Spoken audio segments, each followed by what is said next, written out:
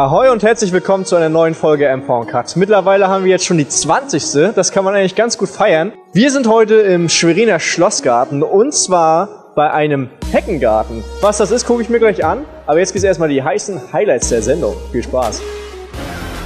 Und das seht ihr heute. Niklas beim Fechttraining und die Ausbildungsmöglichkeiten im Strandhotel Hübner.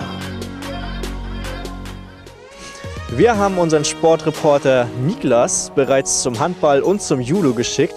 Jetzt steht Fechten auf dem Programm. Da hatte er gar keinen leichten Gegner, denn er kämpfte gegen jemanden aus der Fechtjugend-Nationalmannschaft. Wie es da ausgegangen ist und ob er noch beide Augen hat, das seht ihr jetzt.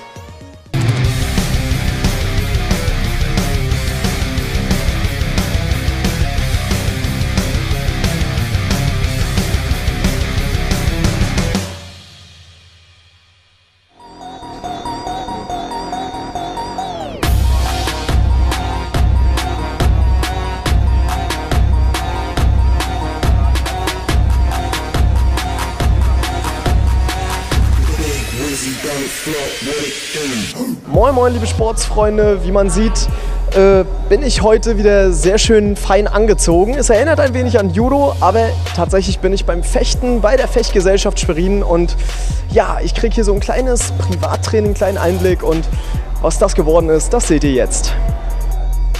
Nachdem das Ankleiden schon eine gefühlte Ewigkeit brauchte, ging es endlich los. Aufgrund eines viertägigen Trainingslagers der Fechter in Halle, das mit einem erfolgreichen Turnier endete, machte der Großteil nur Beinarbeit. Aber mit Gabriel und Moritz bekam ich zwei Jungs an die Seite gestellt, die sich für mich die Fechtsachen geschnappt haben und zeigten, wie der Umgang mit dem Florett funktioniert. Beide haben schon viel Erfahrung in diesem Sport gesammelt und haben auch schon den ein oder anderen Erfolg zu verzeichnen. Bei den Landesmeisterschaften ist unser Verein regelmäßig erfolgreich. Da konnte ich auch schon die ein oder anderen Landesmeistertitel erringen. Und neulich bin ich sogar mitteldeutscher Meister geworden im Juniorenbereich. Ich fahre natürlich zu vielen Turnieren international, immer jedes Jahr. In meiner Altersklasse gibt es drei, vier Stück, zum Beispiel in Wien oder in Cabriès, das ist in Frankreich. Nach Budapest bin ich auch gefahren. Und ja, in der deutschen Rangliste bin ich jetzt Platz 9, glaube ich. Ja, und wenn ich, wenn ich Glück habe oder wenn ich jetzt erfolgreich bin das Jahr, dann hätte ich auch eine Chance zur WM zu fahren, wenn ich Platz 4 werde. Start mit der korrekten Beinarbeit. Dies ist eigentlich das Wichtigste im Fechtsport. Mit einer guten, rhythmuswechselnden Beinarbeit kann man seinen Gegner aus dem Konzept bringen und so besser einen Treffer landen. Moritz zeigte mir, wie das richtig geht und für mich überraschend, ich lernte sogar recht schnell. Danach ging es auch schon bei einem Gefecht gegen Moritz richtig zur Sache. Nach der Verkabelung an der Elektronikanlage, die einem anzeigt, wer den Treffer gelandet hat und auch dem sogenannten Obmann, also zum Vergleich wie der Ringrichter beim Boxen, die Entscheidung zu erleichtern. Der Obmann spricht übrigens ausschließlich Französisch mit den Fechtern. Denn Fechten kommt ursprünglich aus Frankreich. Darauf folgte noch eine kurze Regelerklärung für das Florett. Im Gegensatz zum Säbel und zum Degenfechten wird beim Florett nur der Torso, also der Oberkörper, ohne Arme als Trefferfläche gezählt. Die Faszination gerade zum Florettfechten ist daher klar formuliert. Die Stützpunkte wie Tower Bischofsheim oder Bonn, die bieten natürlich beides an.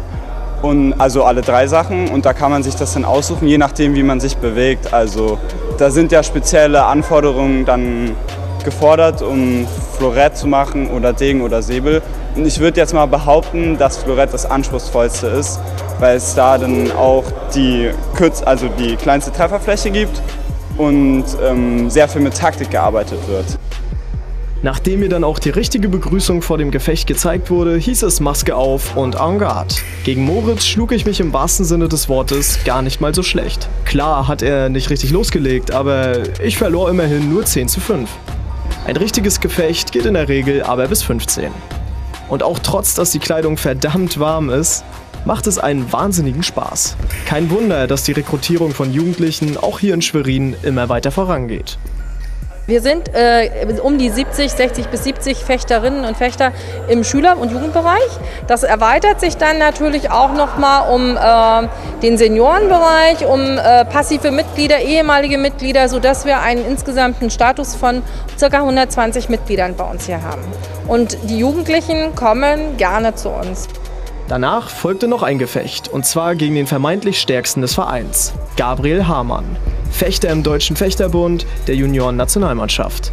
Und ja, was soll ich sagen? Ich konnte ihn durch welches Naturwunder auch immer 10 zu 3 besiegen. Ich glaube trotzdem, dass er mich gewinnen lassen hat. Mein Fazit, es ist einfach eine sehr coole Sportart und man muss sie einfach mal ausprobiert haben. Wenn ihr jetzt Bock bekommen habt, könnt ihr euch auf der Website der Fechtgesellschaft Schwerin über die Trainingszeiten informieren und in der Sporthalle der Friedensschule gerne mal vorbeischauen. Also en garde, prêt, allez, die Fechter freuen sich auf euch.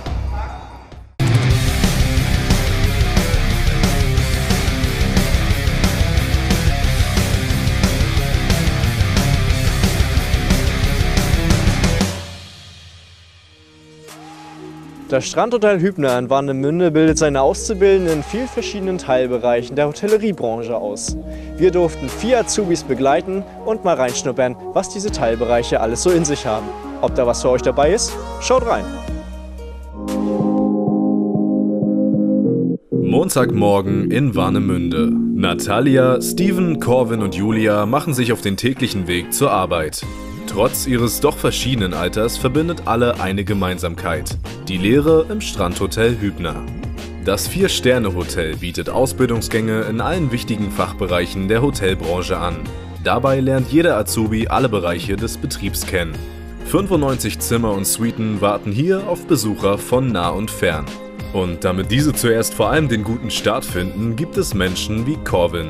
Er kümmert sich in seiner Ausbildung zur Hotelfachkraft unter anderem um das Ein- und Auschecken der Gäste, bearbeitet Buchungen und Büroangelegenheiten und ist auch sonst die helfende Hand in der Not. Er steht den Gästen noch dann gern zur Seite, wenn andere feiern oder ins Wochenende starten.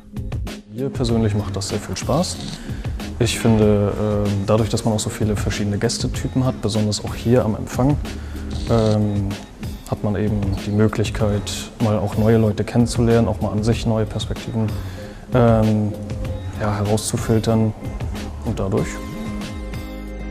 Gerade hier lebt man das Prinzip Arbeiten, wo andere Urlaub machen. Vor allem auch wegen der unmittelbaren Nähe zum Sandstrand.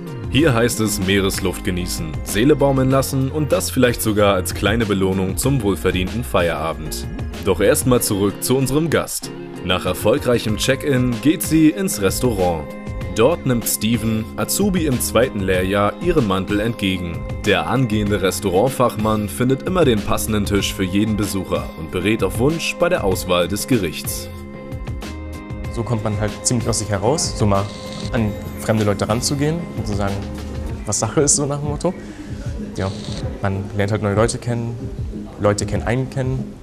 Ja, man ist halt ziemlich flexibel was das angeht. Also man von A nach B, dann ist das mal anders, mal das anders. Man muss sofort bereit sein für alles. Ja. Fisch, Steak, verschiedenste Variationsmöglichkeiten für Salate. Nur einige Auszüge aus dem Speiseangebot. Ist das passende Gericht erst einmal gefunden und das Tischbesteck angepasst, geht es zur Weitergabe der Bestellung an die Küche. Hier nimmt Julia, Azubi-Köchin im dritten Lehrjahr, den Auftrag entgegen und macht sich an die Zubereitung der einzelnen Bestandteile. Dabei ist neben dem Gespür für Feinheiten wortwörtlich Fingerspitzengefühl gefragt. Gerade zu den Stoßzeiten kommt es darauf an, schnell zu sein und dennoch gründlich zu arbeiten. Man muss auf jeden Fall improvisieren können, aus äh, brenzligen Situationen versuchen, den kühlen Kopf zu bewahren und äh, Spaß Humor auf jeden Fall, das ist wichtig. Ausdauer wäre nicht schlecht. Offenheit, Freundlichkeit, aber das ist ja sowieso Grundvoraussetzung. Und ja, einfach die, die Leidenschaft daran, dass man das halt wirklich, diesen Beruf gerne macht. Während unten gemütlich gespeist wird, macht sich Natalia an die Vorbereitung der Zimmer. Denn bis die Gäste ihre zuvor verlassenen oder gerade erst gebuchten Räume frisch betreten können, ist einiges zu tun. Die Auszubildende weiß, mit welchen Handgriffen sie ihre Arbeit in kurzer Zeit möglichst gründlich erledigen kann. Dabei sind das Machen der Betten oder der regelmäßige Griff zum Staubwedel nur einige Punkte, um die Räumlichkeiten wieder zurück in ihren Originalzustand zu versetzen. Man muss flexibel, teamfähig sein und fleißig natürlich. Und so neigt sich unser kleiner Blick hinter die Kulissen dem Ende zu.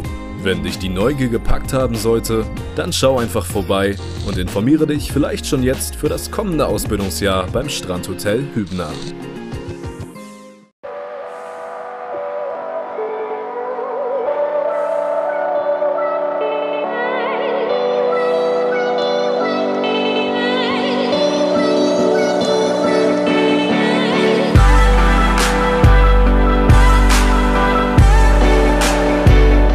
Ich hoffe, diese beiden Beiträge haben euch gefallen. Das war's mal wieder mit der 20. Sendung von M4 Cut.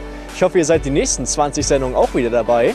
Und ich hoffe, ich kann sie auch wieder moderieren, weil ich muss jetzt irgendwie rausfinden, denn eher ist es ein Labyrinth als ein Heckengarten. Naja, wir sehen uns. Guckt auf Facebook vorbei, auf YouTube, teilt die Seite, teilt alles. Bis dann.